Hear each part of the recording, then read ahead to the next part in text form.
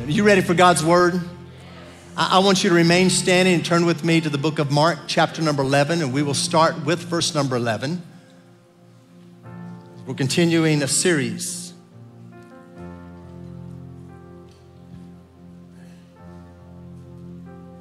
called Train Hard. And I want to pick up with verse number 11 of Mark 11. So Jesus came to Jerusalem and went into the temple. And after looking around carefully at everything, he left because it was late in the afternoon. Then he returned to Bethany with the 12 disciples. The next morning, as they were leaving Bethany, Jesus was hungry. He noticed a fig tree in full leaf a little way off. So he went over to see if he could find any figs. But there were only leaves because it was too early in the season for fruit. Then Jesus said to the tree, May no one ever eat your fruit again. And the disciples heard him say it. Father God, may we bear fruit, evidence of repentance in our life. And may we produce much fruit for your glory, because that's what you ask of us and expect of us. In Jesus' name. And everybody said a big amen. You may be seated. Shannon I spent just a little time in Israel. We just got back about two weeks ago. Toward the end of our time there, we had a certain waiter at a restaurant, 20 year old young man named Moses, which is an appropriate Jewish name, I assume, asked us where we're from, and we told him where we're from. And he made, you could sense his sense of being proud to be uh, from Israel and Jewish. And so he began to speak to how proud he was of it and all these great things. And I asked him a question about Purim. Purim was just happened, and asked him a little bit more about that holiday from his perspective. And I could tell that he was caught off guard.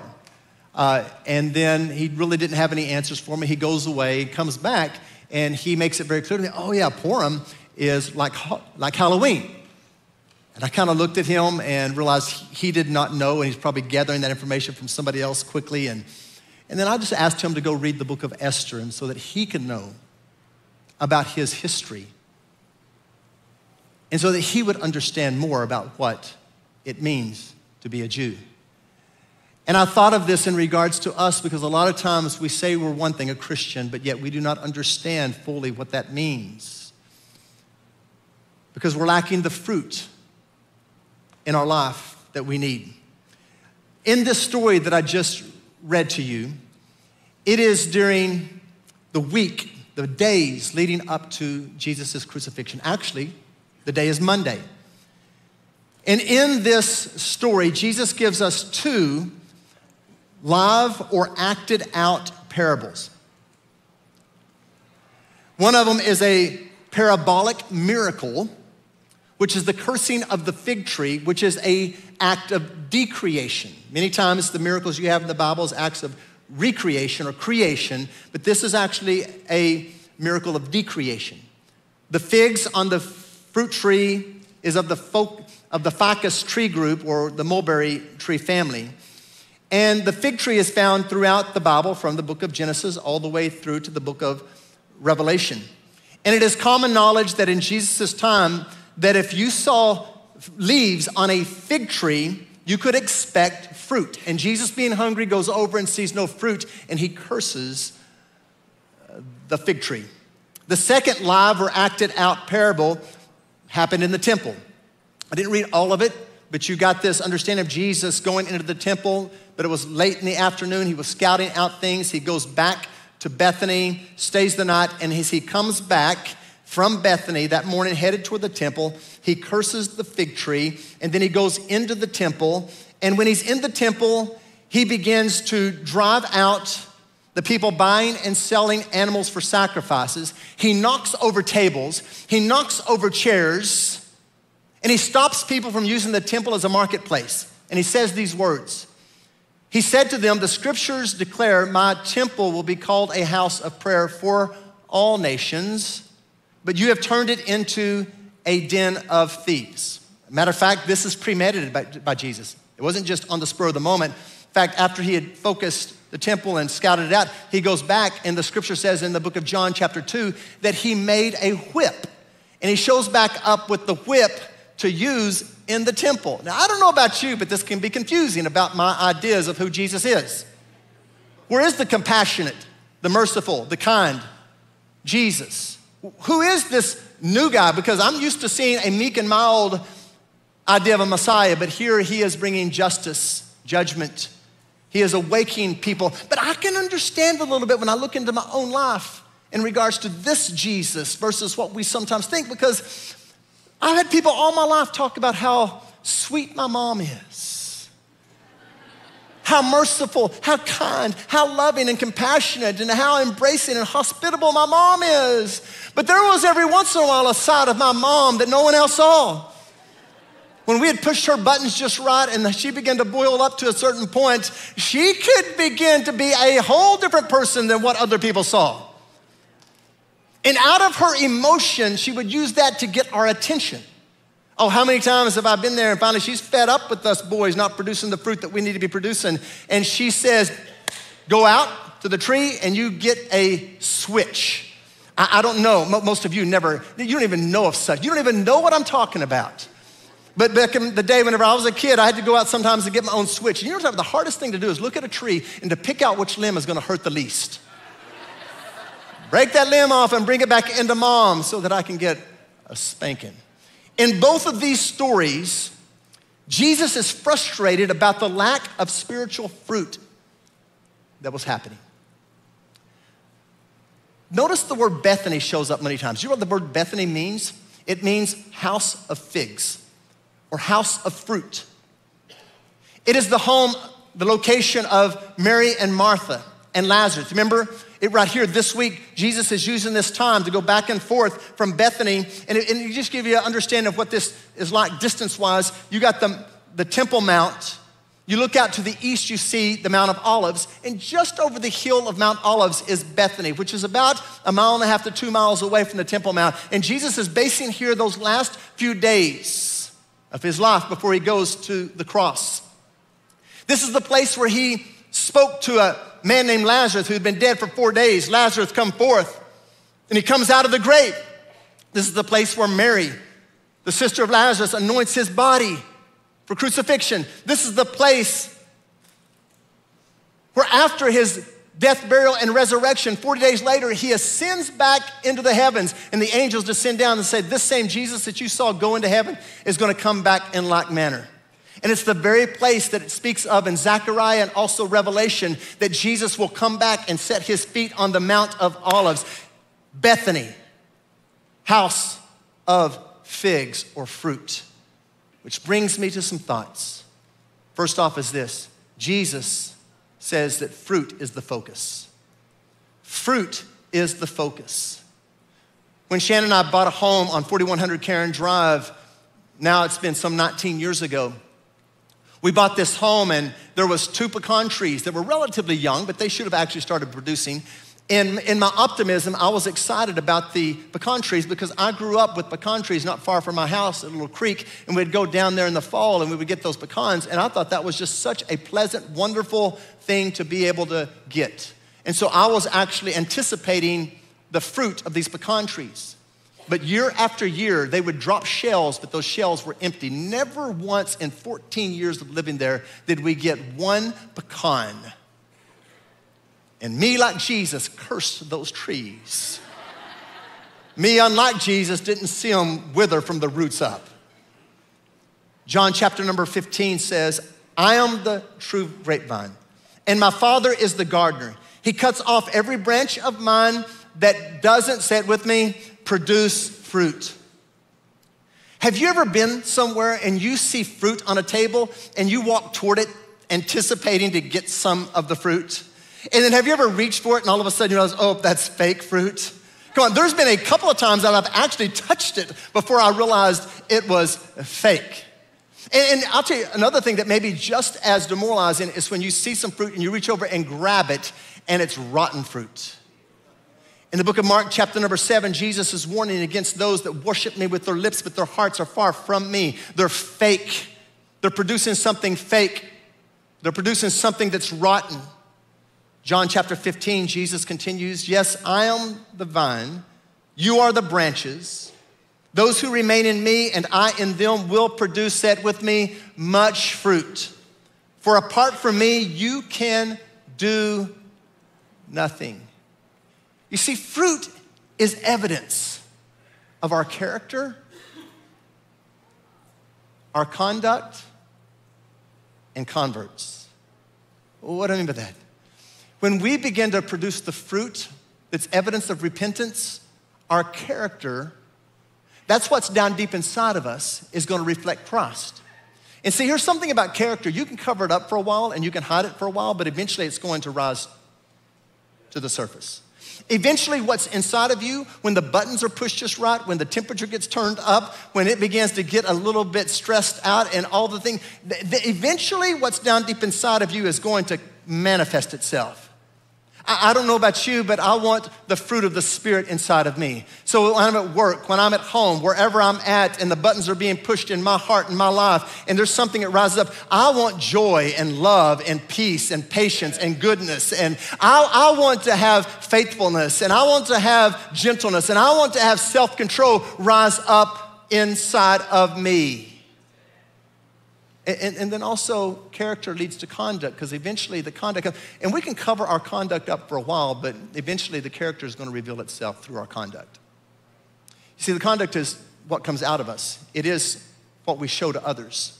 It is. But here's the objective that when you are having fruit produced in abundance in your life, the character will be there, the conduct will come out, and there will be converts that want to follow you. What do I mean by that? It means that other people are going to see what you have and they're going to want to have what you have and they're going to follow you to get what you have.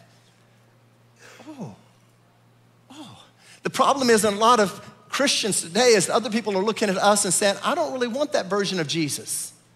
Come on, we have an idea or a version of Jesus. We need to go back to the biblical version of who Jesus is and say, you know what? I want to be that type of Christian that at work, when the buttons and it gets hot and it gets difficult at work, I want people to see a Christ come out of me that they're going to want to follow and they're going to want to experience the Jesus that I am following.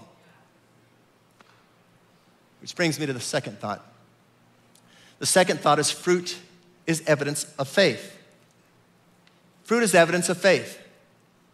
That evening, when Jesus left the city, the next morning they returned back, and the fig tree that was cursed, the disciples saw it withered from its roots up. And Peter remembers what Jesus said. He says, Master, look, this, this fig tree is dead. And Jesus says this in verse 22 Then Jesus said to the disciples, Have faith in God. What is that about? You cannot have real spiritual fruit apart from faith in God. You can have the appearance of it. You can have rotten fruit, something that this world offers, but it's not going to be real and genuine. Fruit comes through faith in God. In the book of Genesis, the first couple, they, they placed their faith in something other than God. They began to listen to the voice of the serpent and they began to believe what was being said and they actually reached for the forbidden fruit and took of that fruit which is never going to satisfy. It's going to taste rotten. Eventually it may because there's pleasure in sin for a season but they're going to wake up and you're going to have a sour stomach and you're going to have a taste in your mouth that is not going to be good when you choose the fruit of this world. And it says in verse 7 at that moment their eyes were open and suddenly they felt shame at their nakedness so they sewed fig leaves together to cover themselves. Did you get that? Fig leaves, leaves, leaves. It's, it's about figs, not leaves. It's about fruit, not the leaves that will just cover your outward and you make yourself look okay. It's about a real understanding of what it means to have faith in God. And faith in God is about obedience. And Adam and Eve felt to obey God completely and wholeheartedly. And it cost them greatly. The brother of Jesus says these words in the book of James just as the body is dead without breath, so also faith is dead without good works. You see, real faith in God means that you trust God with everything, even in the pruning process. Because if you're gonna produce more fruit, you've gotta give yourself to the pruning process. Being raised on the farm, one of the things that I learned early on, it was kind of confusing for me initially, was the pruning process because I would see all of these plants and my dad would show me to get the weeds. And then after getting the weeds, he would show me how to cultivate or to remove some of the beautiful plants. And I would think, like, this doesn't make sense. This, why am I taking something good away? And dad began to teach me, and I began to see the evidence over time that you actually have to trim back some of the good so that you can have even greater. Come on, because it is the good that is the enemy of the greater in our lives. And it's something called suckers, dad would tell me. These little suckers, you ever seen a branch and these little limbs begin to go off of them? And eventually you got to begin to take those little suckers off because it's those little suckers that's keeping the whole plant of producing the maximum amount of fruit possible. And I've got a, something I want to ask you. Are there any suckers in your life? Come on, are there any people that are sucking the spiritual life out of you? Come on, are there any situations and hobbies and activities and stuff that's keeping you from producing the fruit that God has in store for you? Come on, we got to cut back the suckers so that we can produce all that God wants in our lives. Jesus said it this way, and He prunes the branches that do bear fruit so they will produce even more. Even more. Now, I have a guy that I know, his name, he, he in college, he was doing a speech class, a basic speech class. Very gifted communicator. He's actually a minister now, and he's just one of the most prolific speakers, just really, really gifted. But he's always been just naturally gifted as a communicator. And in the speech class, um, his different friends were speaking, they get graded. He's one of the last ones to speak. He gets up, does his speech, he's graded, he's given a B minus. And then he began to find out that uh, several of his friends making A's. Pretty much all of them made A's. And he made a B minus. He schedules a meeting with the professor and goes in and says, I don't understand this. I'm about the only one that got an applause, and my, mess, my, my speech was better than anyone in the class. The professor looked at him and he said, Andy, I am not measuring you up against them. Because, Andy, did you really give it your best? Did you give? No, Andy, you, you just got up and winged it because you're good at it. I'm not measuring you compared to somebody else. I'm measuring you up against yourself. And you can do a lot more. Come on, and on that day, your fruit is not going to be measured up against your spouse or your kids or your parents or your pastor or anyone else. You're going to be measured according to your obedience to God. Did you give yourself to the pruning process and did He do all that He could do in your life? Did you let Him do that? Which brings me to the last thought fruit must be fertilized. Fruit must be fertilized. In, in a field that's, and I've seen this lays dormant, that field that's left dormant for one year will still produce fruit, but it won't produce the maximum amount of fruit. Why is that? Because it's not cultivated, it's not fertilized, it's not developed, it's not taken care of. And the longer you go without taking care of and giving attention to your personal field, the less fruit and the more weeds that you're going to have springing up. Jesus said it this way Remain in me, and I will remain in you. For a branch cannot produce fruit if it's severed from the vine, and you cannot be fruitful unless you, say it with me, remain in me. Guys, you guys say it better. Come on, Guthrie, help me out. Remain in me. Remaining in Christ is the secret to fertilizing spiritual fruit. What does that mean? Let, let me give you how you remain. You remain first in the Word of God. This is Jesus from Genesis all the way to Revelation. It points us to Jesus. The Word of God does. And we got to stay in the Word of God. In Mark chapter number four in our reading plan, Jesus tells the story of the, the seed that was sown on four different types of ground. And he says that the seed is the word of God. And the first seed is planted on rocky soil, and the birds come along and just take it and run off with it. Let me just say that that seed, that word, is individuals that are easily distracted. They just are just mentally just not connected. They're not grounded. They're not even getting it. It's just, it's there, then it sounds good, it feels good. I'm in church, oh, that sounds really good. I kind of like that principle. And then boom, it's gone. The, the second type of soil that Jesus talked about was a soil that actually was good soil, but it was not very deep. And the seed was planted. But then as it began to grow, the drought, the heat began to beat down on it. And then it wilted under the heat. And this is like a lot of Christians that you got just enough of the Word of God. It makes you feel good because you're convinced that you can, by osmosis, give some things that you got over the weekend when you came to church. And you kind of know how to say a little bit of the right stuff. But when the pressures of life and the stress of life and the weight of life and sickness comes your way, you are not deep in the Word of God and you begin to wilt and fall away. The third type of soil is some that was good soil and was planted and it began to grow. And as it began to grow, it says that the thorns or the weeds, different translations say differently, begin to wrap around it. You know what this is? This is the to do list.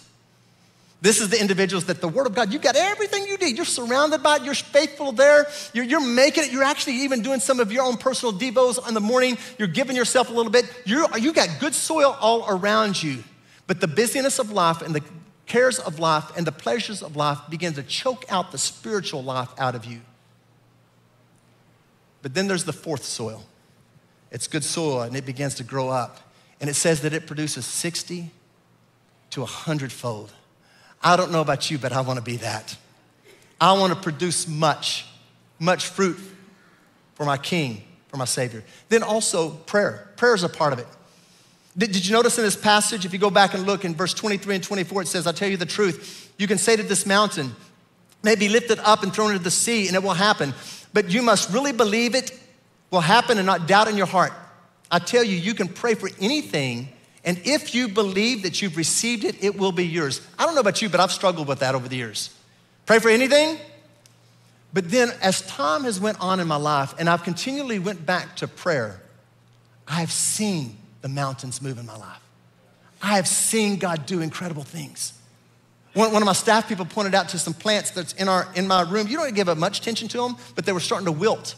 I, I, didn't, I wasn't even paying attention to it. And both, the, Crystal said, hey, Pastor, you got to water these things every so often,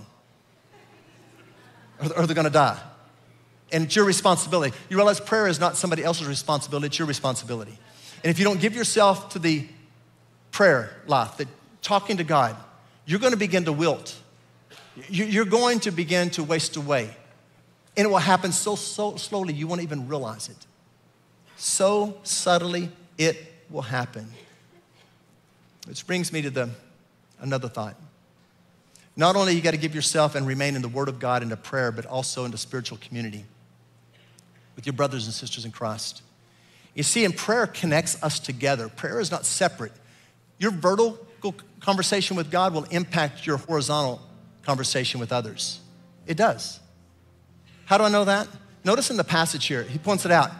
He says it this way But when you are praying to God vertically, first forgive anyone you are holding a grudge against horizontally, so that your Father in heaven will forgive your sins too.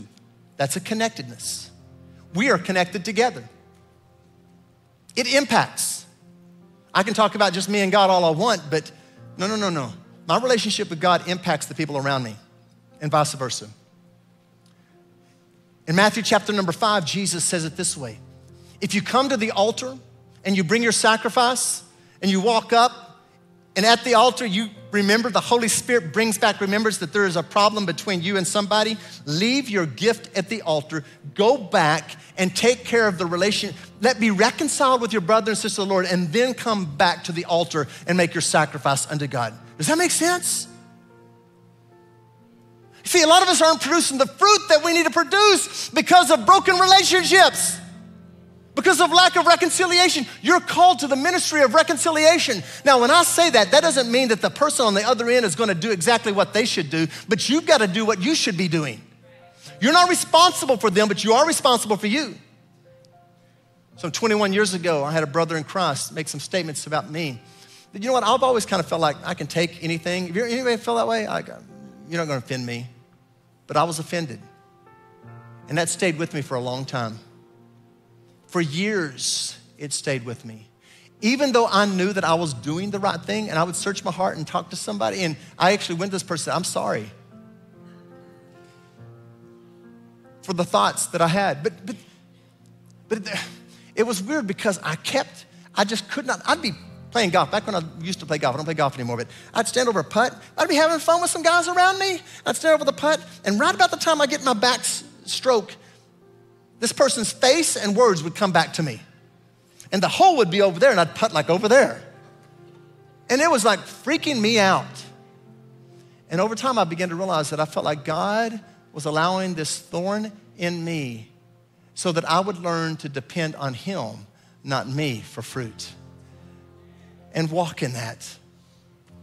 Man. Guthrie in Oklahoma City. Everyone else, I want you to stand with me. Stand.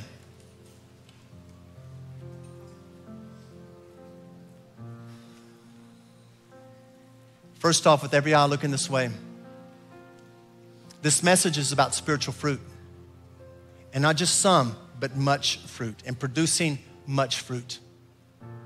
The Holy Spirit is speaking to individuals that are listening to me right now about reconciling with brother or sister, or maybe you have, and like me, you know what I had to do? I had to keep bringing it to the altar. Even though I knew I was doing the right thing, I, I was still feeling those feelings. But remember this feelings aren't faith. You walk in faith whether you feel whatever you feel or not. You keep doing what's right and obeying God no matter what you're feeling. And over time, God will begin to align the feelings to the faith. But first, you got to walk in faith. Does that make sense? Obey Him. Oh, some of you are carrying issues right now that needs to be reconciled, needs to be brought. Or maybe you have, but you're still resting in the feelings. You need to come forward and say, God, I'm giving it to you again. I'm giving it to you again, just like I had to do many, many times, again and again and again. In Guthrie and Oklahoma City, now is the time to respond to this message. Don't wait. Don't sit back there. If you're in the middle of the aisle, get out and begin to come. And number two is this God is speaking to individuals about producing more fruit. You are not producing the fruit that God is calling you to do. You know that. You know that there's some, maybe it's not remaining in the Word of God. You're not remaining in prayer. You're not remaining in Christian community. God is calling you out to produce greater fruit, and you realize that your fruit is not what it should be. With eyes closed, no one looking around. Spirit of God, do your work. Do your work among us. We ask this Holy Spirit, go. Tug on people's hearts. Convince us of our need to trust you right now to see God produce much fruit in our lives.